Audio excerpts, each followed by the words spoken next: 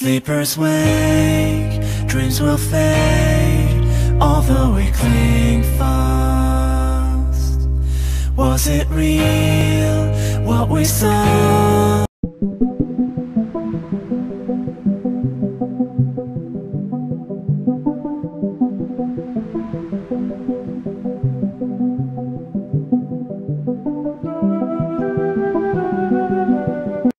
Kapitel 17 Die Stunde der Rache Einen Moment lang herrschte Stille.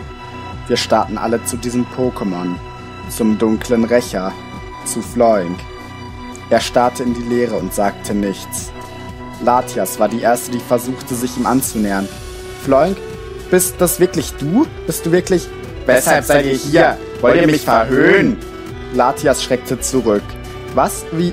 Ich weiß es genau. Ich habe alles gesehen. Alles, was mit dieser Welt geschehen ist. Und ich werde nicht zulassen, dass ihr diese Welt wiederbelebt. Wir alle waren geschockt. Mir halten Giratinas Worte im Ohr. Legt euch nicht mit seiner Macht an! Er hatte gewusst, was hier vorfallen würde.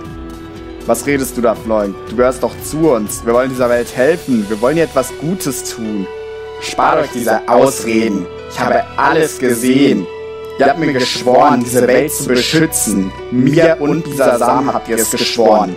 Wie lange hat diese Welt überlebt, nachdem ich sie in eure Hände gegeben habe? Eine Stunde? Zwei? Ihr habt mir bewiesen, dass ihr unfähig seid. Solange Pokémon wie ihr eine Welt beschützen sollen, ist es das Beste für sie, nicht zu existieren. Solange sie tot ist, kann niemand sie töten. Ich kann es mir nicht noch einmal antun, diese Welt sterben zu sehen. Und ich werde alles dafür tun, es nicht zu müssen. Ein Moment kehrte Stille ein. Darkrai war derjenige, der es für klug hielt, sie zu unterbrechen. Dieses Mal hast du Unrecht, Floink. Diese Welt verdient eine zweite Chance. Und wenn wir es schaffen, einen Feind wie die Determination zu stoppen, dann kann niemand dieser Welt noch etwas anhaben. Sie hat dir ebenfalls eine zweite Chance gegeben so wie du sie nun dieser Welt geben solltest. Ich meine, wenn sogar ich mich auf eure Seite stelle, dann muss es ein sehr guter Zweck sein. Du hast nicht das Recht zu sprechen. Du bist nur hier, weil du eine zerstörte Welt nicht tyrannisieren kannst. Du hast mir meine Identität genommen. Du hast die Zerstörung durch die dunkle Macht ausufern lassen. Du bist der Letzte, der das Recht hat, hier zu reden. Die letzte, die ihr Glück versuchte, war Latias. Bitte, Floink. Ich weiß, das bist nicht du. Denk dran, was dieser Sam hier zu sagen würde. Ich bin mir sicher, er wird in diesem Moment auch hier sein, auch wenn wir ihn nicht sehen oder hören können. Du lügst! Er war nie hier. Mit dieser Welt ist auch er verschwunden. Dadurch, dass ihr diese Welt habt sterben lassen, habt ihr auch ihn verschwinden lassen. Das werde ich euch nie verzeihen. Seine Schatten brannten in einer immensen Form, doch loderten sofort wieder niedriger. Ihr beiden, das dieser Samen das Scheinux. In diesem Moment verspürte ich eine so große Angst wie nie zuvor. Doch ich wusste, ich dürfte es mir nicht anmerken lassen. Was willst du von uns? Ihr beiden steht stellvertretend für alle fünf aus eurer Welt. Ihr seid bloß Kinder. Ihr seid in eine Schlacht hineingezogen worden, die nicht eure ist. Ihr wurdet belogen und geködert. Euch trifft keine Schuld an diesen Ereignissen. Ich kann euch alle nach Schmuckstadt bringen. Dort könnt ihr euer normales Leben weiterführen oder ein neues beginnen.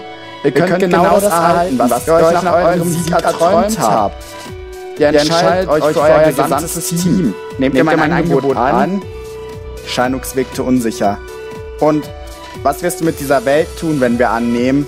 Das einzig Sinnvolle. Ich werde diese Fehlgeleiteten in den endlosen Abyss verbannen und den friedlichen Schlummer der Materie wahren. Ich werde dieser Welt ihren letzten Wunsch erfüllen. Bevor überhaupt irgendjemand von den anderen reagieren konnte, sprach ich schon aus, was ich hoffte, was sie alle dachten. Vergiss es, Darkrai hat uns belogen. Das stimmt, doch es ändert nichts an unserem Ziel. Wir sind alle freiwillig losgezogen, um diese Welt wieder zu beleben, egal ob es nun unsere ist oder nicht. Für dieses Ziel haben wir zu viele Herausforderungen bestanden und viele Qualen erlitten. Wir haben Schlachten geführt, um dieses Team hier auf die Beine stellen zu können. Und selbst die Determination haben wir besiegt. Da werden wir jetzt nicht unverrichteter Dinge abziehen. Es tut mir leid, falls irgendjemand von meinen Freunden nicht einverstanden ist, aber das ist das Einzige, was ich wählen kann. Die Flammen, die im dunklen Rächer brannten, verschwanden für einen Moment vollständig. Seinem Gesichtsausdruck nach war er vollkommen überrascht. Was? Du? Die Flammen schossen wieder hervor, erneut so stark wie vor seinem Angebot. Du wagst es, meine Gnade abzulehnen. Du widersetzt dich einfach. Was denkst du, wer du bist? Ich verspürte noch mehr Angst als zuvor. Ich war mir sicher, er würde gleich endgültig die Beherrschung verlieren und mir ein schnelles Ende bereiten.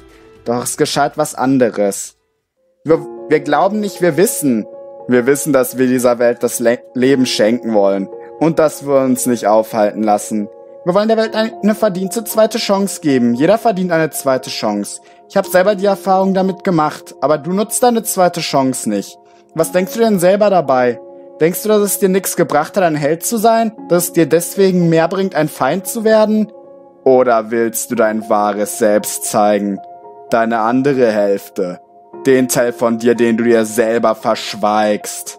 Diese Kinder mögen nicht die Stärksten im Kampf sein, doch ihren Willen kannst du nicht brechen. Dafür reicht deine Macht nicht. Niemandes Macht reicht dafür. Diese Welt wird leben.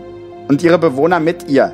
Du hast die Chance, diesen Krieg zu beenden. Du kannst das ruhige Leben führen, das du dir immer gewünscht hast. Jeder hier würde dich in unserer Mitte aufnehmen. Du musst nur wieder der werden, der du warst, als du gegangen bist. Und wenn du dich weigerst, dann tut es mir leid, aber wir werden nicht aufgeben. All meine Freunde versuchten mit mir zusammen Floink davon zu überzeugen, dass es keinen Grund für einen Kampf gab. Wir alle glaubten an das Gute in ihm. Zu Unrecht. Er wirkte einen Moment lang schockiert, doch sein Ausdruck änderte sich schnell wieder. So, so, ihr seid eine entschlossene Gruppe. Und ihr beiden führt sie also an, dieser Samen Scheinux. Na dann! Echte Flammen schossen aus dem Boden. Sie formten einen Kreis um mich, Scheinux und Floink. Dann werdet ihr stellvertretend kämpfen. Wenn es euch so ernst ist, diese Welt zu retten, beweist es mir. Wenn ihr mich besiegt, wird diese Welt leben. Aber denkt nicht, dass ich das zulassen werde. Ich kämpfe bis zum bitteren Ende. Bis zu eurem Ende. Alles geschah vor meinen Augen so schnell. Die Flammenwand bildete sich. Floink beendete seine Ansprache und griff uns an. Ich hörte auf der anderen Seite der Flammen meine Freunde rufen. Manchmal sah ich auch kurz hindurch. Ich erkannte, dass Ivy, Semops und Hydropi verzweifelt und vor allem vergeblich alles versuchten, um das Feuer zu löschen.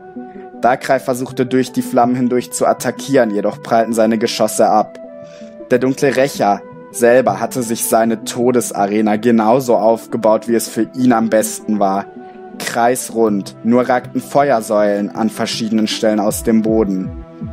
Ihn schmerzten diese nicht, mich und Scheinux hingegen nicht zu knapp. Zudem konnte er sie nutzen, um sich in ihnen zu verstecken. Zusammen mit seiner Teleportationsfähigkeit war dies ein absolut unfairer Trick.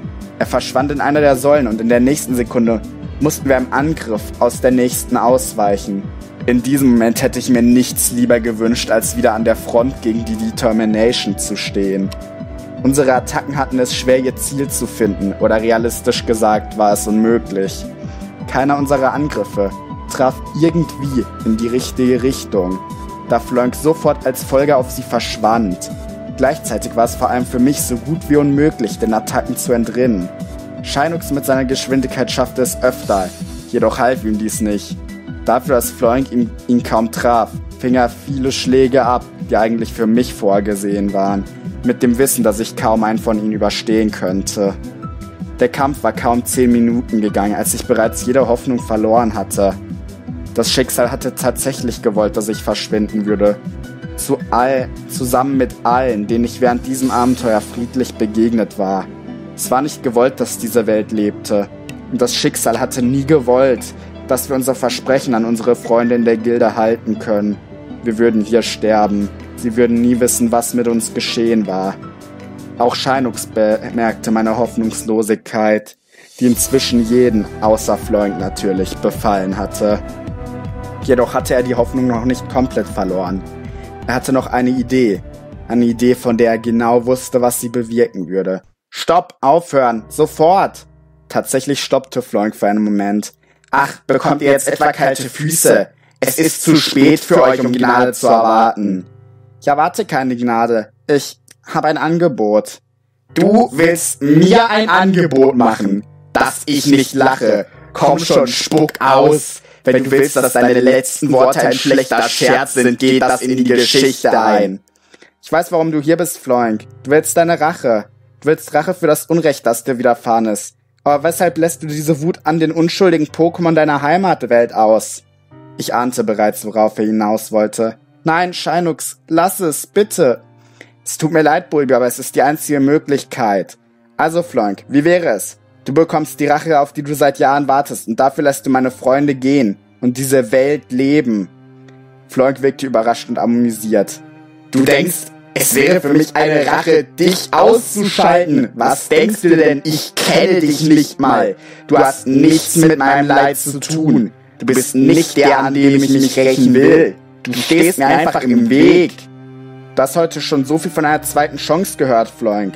Und ich gehöre zu den Glücklichen, die einer von ihnen erfahren durften. Ich war nicht immer Shinux. Ich war nicht immer ein gutes Pokémon. Ach, was willst du mir denn damit sagen? Wie? Erkennst du mich immer noch nicht?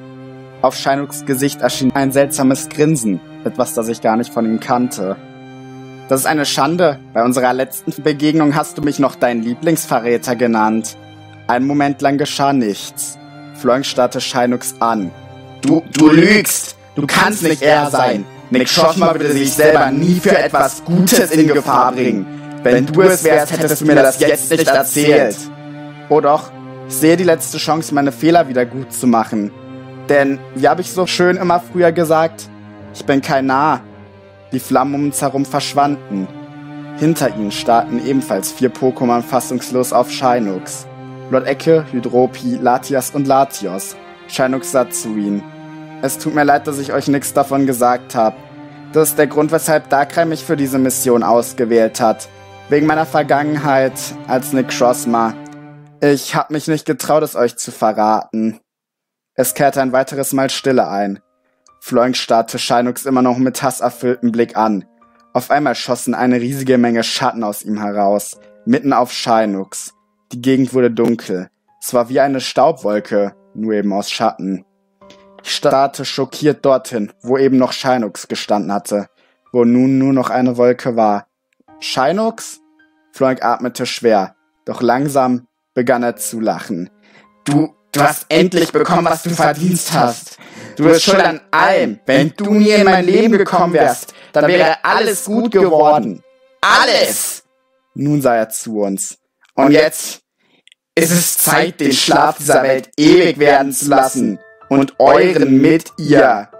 Er griff wie aus dem Nichts an, mitten in meine Richtung. Ich war zu überrascht, um zu reagieren und gleichzeitig wollte ich es auch nicht. Kämpfen hatte keinen Sinn mehr. Meinen besten Freund hatte ich verloren. Es hatte einfach keinen Sinn mehr, um mein Leben zu kämpfen. Doch in dem Moment, in dem ich mit dem Aufprall der Attacke rechnete, stellte sich etwas in den Weg. Es war ein Pokémon.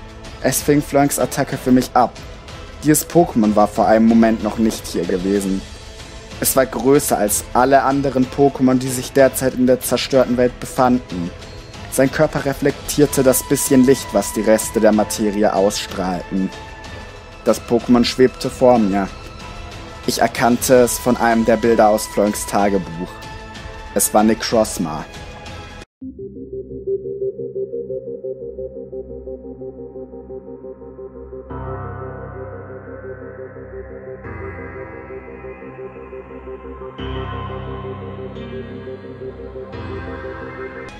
Du wirst diese Welt nicht zerstören, solange ich lebe. Floink wirkte schockiert. Wa wo kommst du, Verräter, her? Hat das Scheinux etwa doch gelogen? Nein, ich lüge nicht in diesem Leben. Du hast mir selber geholfen, meine wahre Form zurückzuerlangen. Ich wusste, ich müsse genug Schatten abbekommen, um meine Schattenseite ans Licht zu bringen. Floink, ich fordere dich heraus. Erneut. Sein Gegenüber schien nicht so recht mit der Situation zurechtzukommen, nahm jedoch trotzdem an. Du bist naiv.